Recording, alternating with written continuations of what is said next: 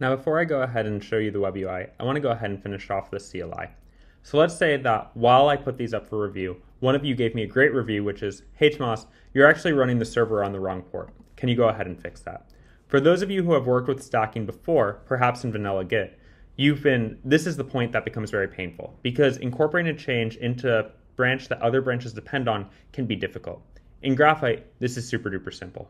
So I'm gonna go ahead and do is I'm gonna go ahead and check out that branch. So I'm gonna go ahead and check out the server branch. I'm going to go ahead and edit the file I need to, in this case server. So I go ahead, I go to server.js, I find that, yep, I'm running it on port 3000. I meant to be running it on port 8000, my mistake. I go ahead and save that.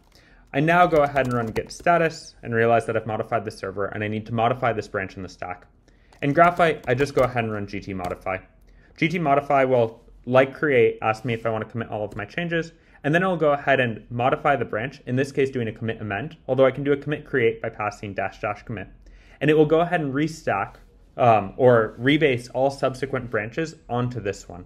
So if I were to run gt log short one more time, you'd see that my stack of four is still a stack of four because of these restack commands, where Graphite automatically detected, hey, these branches belong on this other branch which has moved, or which has incorporated new changes into it. Let me go ahead and apply these changes to any dependent branches. If Graphite were to find rebase conflicts between these branches, it would go ahead and drop me right into the Git conflict resolution editor, where I could go ahead and resolve the changes, and then rather than doing git rebase dash dash continue, I just do gt continue, and it would continue all the restacking for me. To go ahead and submit the updated stack online, I simply do gt submit dash dash stack, which goes ahead and normally submit submits everything at that branch and below. Dash dash stack says just submit the full thing for me. It goes ahead and detects what's changed. In this case, servers changed because I've literally updated the code. Front-end analytics have changed because we've incorporated those changes from server. And it goes ahead and pushes those changes right up online for us.